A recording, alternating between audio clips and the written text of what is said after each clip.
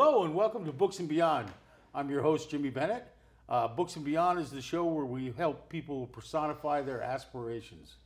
Uh, before I get to my guest, I'd just like to say uh, happy summer to everybody. I hope you're having a good summer. It's been, uh, well, it's getting hot and crazy, but uh, if you haven't gotten flooded out or dehydrated yet, you're doing good. Um, I have uh, just want to mention real quickly uh, about the Southeastern Connecticut Authors and Publishers Association, CAPA, that uh, I am a member of, and my guest today is a member of.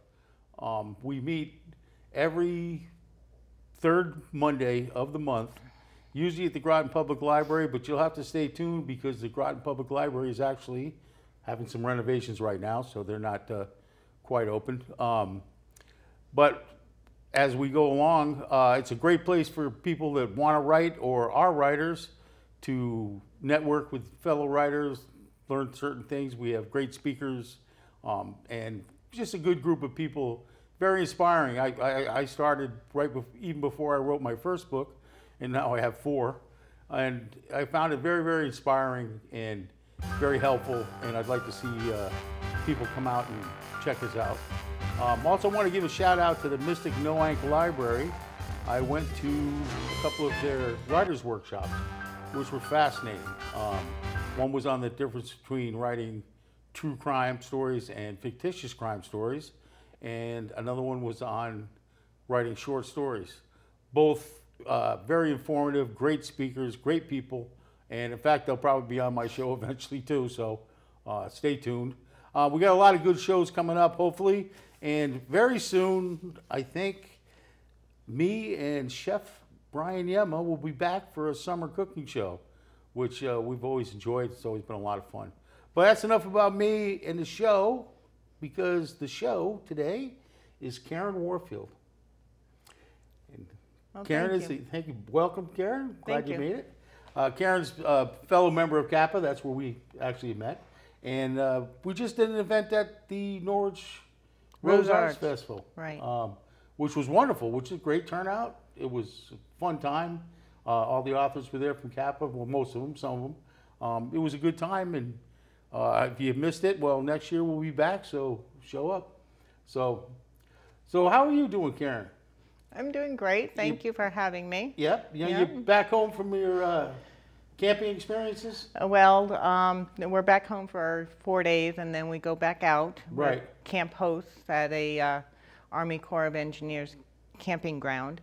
So um, yeah, this is my first day back, and uh, How's that? Is that, that must be fun, huh? Just uh, it's a lot of work, but it's it? fun. I, we get a seasonal site for the summer, and we work. It's a 12-hour day. It's a long day, but you Wow. You get to meet a lot of people. yep. And uh, interesting, we had people from Texas, California, Amsterdam. Oh wow. Yeah, so all Wow. over the world. Are these all service members? No, Okay, no, okay. It, it's just Army Corps of Engineers runs the campground, West Thompson Lake, by the way, um, and it's open to anybody. Tent sites, RV sites, Okay. real nice, real Great. nice. So So I'd like to talk a little bit about you because I was fascinated reading your uh, biography. Well, um, you, you. went to Southern Illinois University. Well, I right after high school, I joined the army because I wasn't sure what I wanted to do, and that was for three years. I got out and I worked at the sub base for the Department of Defense, and while I was there, I went to a extension program for SIU. Oh, okay. Yeah, and got my bachelor's and I was born in Illinois. That's why. I oh, was- okay, that's right. yeah. I, Every male family, member of my family's been born in uh, Suffolk County, Long Island, for 500 years, except for me. except for you. My father was a instructor at the submarine base oh, really? at the sub school, Oh, and nice. that's where I was born. Yeah. Okay. um, up in the frozen waste. So, and you served, you served for in the army. I was uh, three years in. I I was supply, Okay. You know, I got to admit, I loved every minute of it. Did you? I really did, and um, it just happened that I did my three years and I got out, and it, it served me well because it helped me to get my DoD job. Right. You know, I had that background. Right. So they snapped me up. and I spent 17 years on the sub base. Nice. And then uh, I got married, and you know things went a different direction. Right, as they do. Yep. yep. Okay. So we got involved in the Norwich Historical Society. Norwich did not have a, a society at the time, and Bill Stanley, I don't know if anybody remembers Bill, he has passed, but he was a great historian, um, loved Norwich, and he decided with Peggy Wilson to start the Historical Society. And he kind of tapped me and my husband David on the shoulder to help you know, started up, and we had no clue what we were Right. doing. We really didn't. I think we lasted two years, Yeah. you know, because it, it is a lot of work. Right. It is a lot of work. And my hat's off to the now present society because they are doing fantastic things. So the Norwich Historical Society, do they have a site, a building? Um, they do have a visitor center Okay, um, on the green, and they do have a website. okay. And um, they run events throughout the year. I think the last one they hooked up with the Leffingwell Museum. Okay. So you have to watch the calendar of events. No, I, I think that's fascinating. I was uh, surprised because actually the set of stories that I'm working on now are set in Mystic between the years of 1919 and 1932. Okay. And so I've been doing research and stuff. And I went up to the Mystic River Historical Society and I was just amazed at the, All the societies had. are a great resource Right. if you like. I like historical fiction, so for me, if I see an event, I'm usually there with my notebook because something interesting maybe I can weave into Right. the story. Right. So that's how I pick up my information. And a lot of times, just on the internet, I'll do some research and I'll go down that bunny trail. And you know what? I didn't know that happened. I wonder Right. how many people realized that that's what actually happened. That's the thing about writing historical fiction I've found. The more research you do for your story leads you to like a hundred ideas for other stories. And it's very hard to pull yourself away and focus. Right. Okay, I was looking Yeah. at this, but Right. somehow I ended up over here. Right, So- right. Or you put it in afterwards and you say, why did I? Yeah, that doesn't It fit. didn't really, That doesn't doesn't really, fit. yeah, it doesn't fit, you know? Um, and now, also you were involved with, uh, something, Nine Square Mile. Now, Nine Mile, Mile Square. Square. Nine yeah, Mile that was Square. a Bill Stanley book. And I Oh, don't okay. remember, I don't know if you remember Bill Stanley. He used to write for the Bulletin, the I Norwich remember the Bulletin. name. Okay. I, I wanna, I okay. don't wanna, you know, act Yeah. like I, you know, we're yeah. buddies, And but. he did the Once Upon a Time stories, Oh, okay, all you right. yep. and he finally put them all into one book. And it was the uh, Nine Mile Square book. Okay. And I helped edit that book. Oh, all right. So that's my connection to that. And this right was all there. stories about Norwich and. all stories about Norwich. Bill Stanley was a great photographer, and I'm not. I'm probably not doing him justice, but he used all those pictures he took over the many years to put the book together. Right. Yeah. Um, yeah, there's there's a lot of fascinating. Norwich History. has got a lot of fascinating history. Norwich is a fascinating place, especially when you realize that, you know, 1890, around that time frame, there were more millionaires per capita than any other city on the East Coast. Oh, I didn't know that. Norwich was a hustling, bustling town. I know the, I know that people don't realize the the extent of uh, the entertainment and stuff that used to be. I know the Frank Sinatras used Yes. to perform in Norwich, Yep. and there was a lot of big big names. Big back then. names, big names Yeah. at one of the theaters, and it was a, it was quite the town. And I, I don't know what happened to all the hustle and bustle, but things, you know, change over time. And Norwich was also known for its billiards, a lot of billiard championships, and boxing, of all things. Oh, I didn't know that yeah. either. Yeah, you got to really talk to the older generation, Right. if I can say that. My father was a great historian. He loved Norwich. He grew up in Norwich, Norwich, you know, all the way. And I got a lot of my ideas from him because he would tell me the real story behind what you're Right. reading in the paper. No, Right. it really happened like this. And I, oh, really? You know, I was talking to one person at a dinner um, gathering, and he had bought the um, Hay, Haymarket building down in Norwich, and this was in the 80s, I believe. And he looked at the building, looked at the outside, inspected the inside, and something did not match up. You know, there were more floors on the inside than the outside. And he said, How come I'm, there's four floors, I'm going up and down the stairs, but only three rows of windows? Well, there was a half floor. So he discovered that and he went in there, and it was a little bordello. Oh, wow. Yeah, back in the time. Yeah. You know, the sailors come into the harbor. Right. What do you have when you have sailors? Right. You had the bars, the drinking, and what else?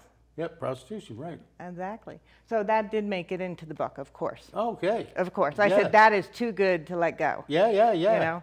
So little stories like that I try to incorporate. Which is, you know, I'm, I'm, you made a point about talking to your father and your father telling you. And this is something that I've tutored on the show since I started doing it, mm-hmm. was that people, not only should everybody write down their own experiences or tape record them or something, because when you think about how much the area has changed, even since I was a kid, Right. 50 years ago when I, you know, I, I moved into Noank when I was 14. And, you know, I was a Navy brat. So, um, but how much has changed? And, you know, I think that these kids, you know, or my children and stuff, Don't would realize. just, yeah, just don't realize They it and would be fascinated to. They have uh, no clue. um, I was talking to a couple of people the other day, and uh, I said, "You see all the trees?" They said, "Yeah." I said, "There was no trees here. yeah. It was all farmland and pastures. Right. There was no trees."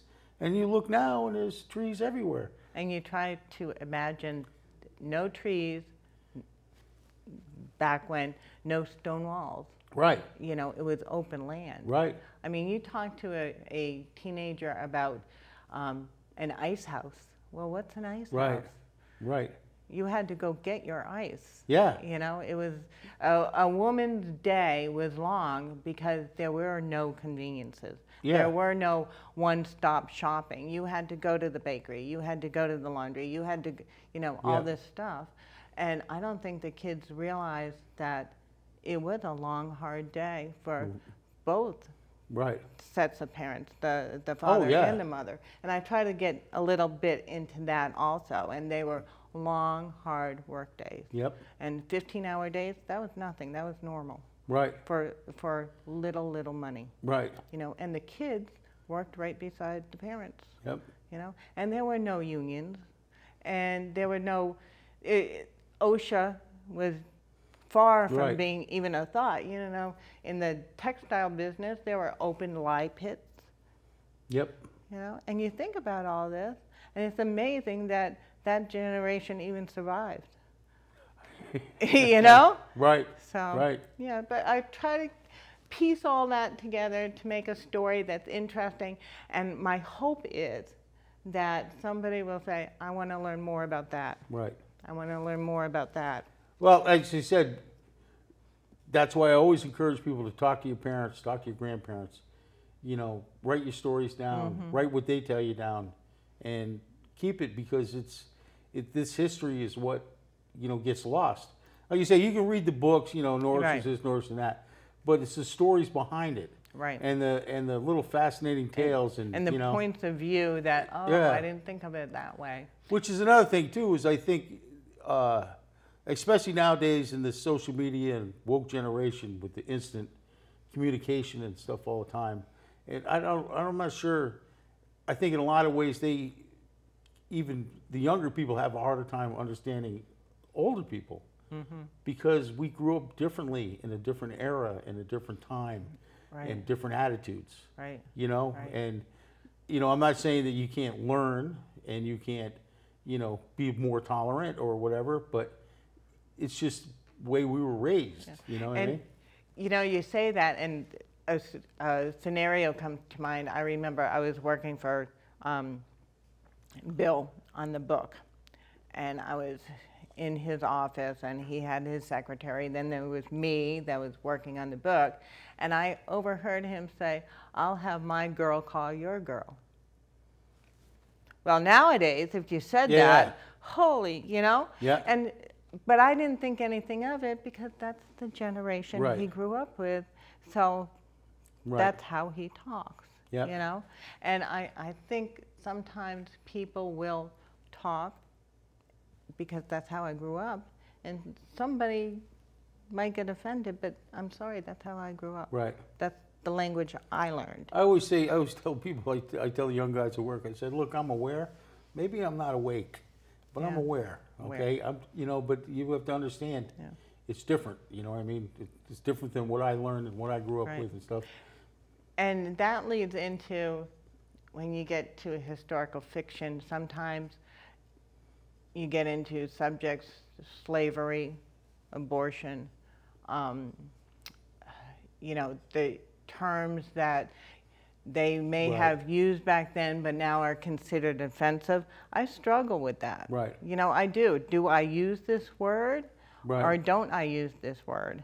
Yeah. you know and well if you're talking about my next book is taking place in the 1640s right in the uh, Gales Ferry area um, if i'm writing there in that time frame i have to use the words Right. that colonialists used Right. and they are offensive Right. nowadays they are Yeah. offensive so you struggle with that Yeah. you struggle with that you know and i look at the notices that all the book bannings that are going on Yeah. you know and the libraries and it, it's like and i hate to say this it is what it is but that book was written at a certain Right. period of time and that book is actually a reflection of that period of time Right.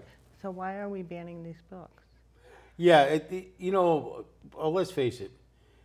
Almost anything can be offensive to somebody, even if it's not offensive to our culture in America. It could be offensive to the culture in Yemen or, Right. or you know, or, or other countries and stuff. It- it's just, you know, and you, as long as you can, all right, that's fine. But it's a matter of tolerance. Okay. Yeah. Okay. Well, I think if we were, if society was totally clean on their language, we'd be a very boring society. yeah. We really would Yeah. be. I Yep. mean, there would be nothing left to talk about because you can't talk about anything. Right. Right. So, So, but anyways, let's get to your book because that's what. uh, okay, okay. That's what we're here for. Um, it is the white glove. The white, yes, white gloves, and it, I called it white gloves. I named it white gloves. It's my little baby here because um, back in 2000, my husband and I bought a 1790 house with an 1890 addition. So as a result, it needed a lot of upgrades. So one day we're sitting on the porch, and uh, he looked bored, and I said, "Why don't you go find that fireplace that you think is behind the wall in the upstairs bedroom?" Now we had gone up there and we're inspecting the place, and you could feel the mantle. Somebody had Right. covered up the fireplace. So he took a sledgehammer, and by golly, he found a chimney there. And I call it a step chimney. It kind of went up with the old bricks, 1790 nice. bricks, you know. But on the side of the chimney was a pair of white gloves. Oh wow! Yeah, and a bracelet, a child's bracelet made out of sea pods. You know, um, Yeah. they just sewed them together and made a bracelet. And so I said, you know, there's got to be a story here. Why would somebody not take those out of there? Right. you know, that type of thing. So I started writing the book in 2000. I wrote the first 17 pages. I, I'm good to go, right? Yeah. Then life got in the way, and 2018 I picked it back up. I read the first 17 pages, and I hated every word of it. You know, it sounded like Little House on the Prairie. Yeah. I, I like Little House on the Prairie, but I don't want to write like Right. that, you know? So I redid that. I came up with some ideas. I came up with a family saga line. You know, um, you followed the family through all these trials and tribulations, and out came White Gloves. Now, the very interesting thing about this, and hardly anybody asks me, but it is so obvious. What's missing on the cover of that book? Well, I don't know, I have to really look at it, but, uh, It's, it's called White Gloves. What's Oh, there's missing? no- no There's white no gloves, white gloves. Nobody ever asked me that question. yeah. You know? But um, I picked that. Did you purposely leave them out? Well, I picked that picture from uh, uh, Getty's Images there, and I liked her hands because in the story, Edwina is a servant girl that gets into upper society, but she has strong hands because she was a servant girl. So I wanted uh, to show her hands, but there is a reason why the white gloves are not Yeah. displayed on the cover of the book, and I hate to say it, but you got to read Right, the book yeah, to that's find out. fine. No, you know, that's good. Which is a, a very um, moral reason in Edwina's eyes. You know why she does not wear white Yep. gloves. All right. So And now, is your story set in Norwich? it is. It's set in Norwich, um, 1860.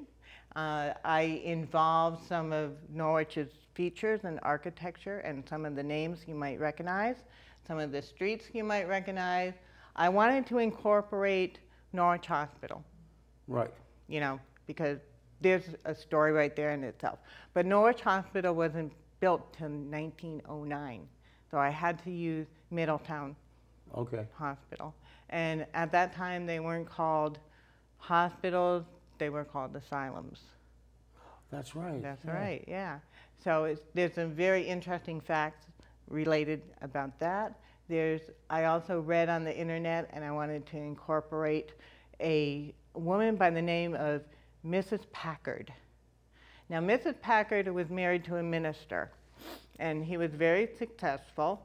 Um, but one day she had the audacity to ask him a question during Bible class, a question that he struggled to answer. His response to her was to admit her to an insane asylum. Back then, you could do that. And a lot of husbands did that to their wives, Wow. especially when they wanted a new model, Yeah. so to speak. So Mrs. Packard, being this a smart woman, upper society, went forward to Congress and documented her stay in this insane asylum. And she, through her writings, she got a lot of things changed during that time period. Oh. So go on the internet and look up uh, Mrs. Packard congressional legislation, and I'm sure she'll pop up. But I want to say her book is about 400 pages long, and it's fascinating because she was there for a number of years before she could finally get out of there. wow. So, and then she wrote the book and went before Congress Right. and got some things changed. So I incorporated some of her stories in there too. Of course, the characters have been, you know, renamed and Right. all of that. But um, it's a it's a good summer read. It's a I want to say a short read, but the facts and if you continue the research are fascinating. Yep. You know. See, I, I did that. Uh, I did that with my books. You know, I used Gillette's Castle and Right. William Gillette. You know, so I try to use as many real places, real times. And as I said, I was working on a set. I'm working on a set of short stories set in Mystic now, and I'm trying to incorporate a lot of the history into it Right. because, like you say, um, there's the times when, uh, you know, I went to Carl C. Cutler High School, uh, junior high. Okay. I had no idea who Carl Cutler was. It was just Cutler, Cutler Yeah. Junior High. And then I'm doing the research, and it turns out he's one of the guys who started the Mystic Seaport. You know, so Yeah. that to me was kind of fascinating. And now that school's gone too, but you know, whatever. And look But, at you know, Mystic Seaport, how it yeah, grew up. How, how that blew up and Yeah. how big that is now. and I, stuff, so. I'm sure, was he a sea captain or? no, or no, I think he was a, um, a businessman, I think. Okay. You know, yeah. okay, I'm sure Yeah. there's a lot of hidden stories behind Yeah. him too. Yeah, yeah. You know. Um, but anyways, yeah. So that's always good to you know do your research and look up and and like I said, it does give you inspiration to you know if you live in Norwich, you know you might walk down the street every day, but then you can- now you can look at it and go, wow, there used to be a big huge mansion here, you know. And Right. that kind of thing. It's, Right, it's, I always found that really to be really great. Yep. Um, And there are pictures in the book, so they might. Oh, there is. Yes, Okay, so they might recognize some of the mansions. They, they are still there. yep, They are still there. good, So. good. So what are you working on now? Um, right now, I'm working on a book, 1640s, right after the uh, uh, Pequot War Oh, okay, down in Mystic. Yeah, So, and the colonists are coming over and they're, they're settling in and their relationship to the Indians, their relationship to other colonists, their relationship to the Massachusetts Bay Colony, how that all, all works Yeah. out, you know, and the stories behind that. You see, you're like me, you get that, that uh, historical fiction. Yeah, Um, I kind of love it. I, uh, I mean, I, I, I write the mysteries, murder mysteries, crime stories, stuff like that, and uh, maybe some somewhat of a cop out, but nowadays with modern forensic scientists and the internet and cameras and security footage and stuff like that, it's really pretty hard to get away with much, you know. Uh, but back then, you could get away with stuff unless somebody was smart enough to figure it out. right. So that's what I try to, you know. But in these stories that I'm doing, I'm really trying to make it half historical, Mm-hmm. you know, with a little mystery woven in just to keep you interested. Well, you know? the nice thing about those books is Gillette's Castle. It might inspire them. I want to see this place. Well, that's what I- you know. you know, I want to see this place. And it's funny because, you know, how many people come up to me and go, oh my God, I haven't been there since I was a kid. Yeah. I was, and it's a beautiful state park, you know. And Norwich is a beautiful town. You know, I haven't been to Norwich in years and years. Um, honestly, since uh, we talked about it since back when I was young. Right. Um, you know, rolling up drunk and going to the shows at the Rose Art Festivals, Arts, you know, yeah, yeah. that kind of thing. And it's a beautiful, it's a beautiful city. It's, It is. The architecture is great. Yeah. You know, and hopefully we don't lose sight of that. You're right, right. Don't lose sight of that. Keep it going. So. So, um, well, I'm looking forward to that. That's that's uh, how long? How far along are you? You just sort of cruising. I, I've done two serious edits, yep. um, and I'm working on a third edit. I say serious, that's when you actually pay somebody to Right. do an edit, you know. And then, of course, you have then friends and family that will edit. Proofread it, yeah. So I'm hoping, I really want to do traditional publishing with this one. Okay, good. But if not, I'll go self-publish. Right. But I, I think it's I think it's a good story to tell and make the kids, I say kids and adults, think about the historical value that they may have lost sight of, Right. you know, to know these facts. And many, And- let's face it, many of our kids, like, you know, my grandparents, on my mother's side, both came from England and uh, Ireland, Scotland and Ireland. Um, my ancestors from way back came from England. But most people, if you really find, you know, if you really think about it, their great parents, great great grandparents, they, they came over from the, from Europe, other countries. And that wasn't like a- that. was not an easy No, voyage. and it, it's not like, know. you know, getting a passport and flying in. It was and, not know. easy, guys. Yeah, so, So- I think it's it's stuff that they need to learn to appreciate where they are now in life. You know. Right.